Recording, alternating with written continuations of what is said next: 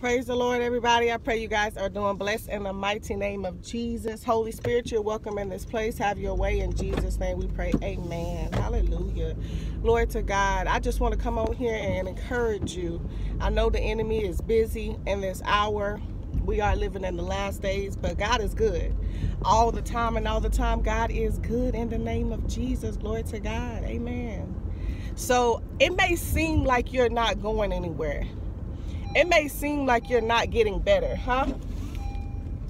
But I want to come against the spirit of discouragement in the name of Jesus. Hallelujah. You are going places. In fact, you are elevating. You are higher than you've ever been before. That's why it feels like you're not going anywhere because, in fact, you have elevated to a new level.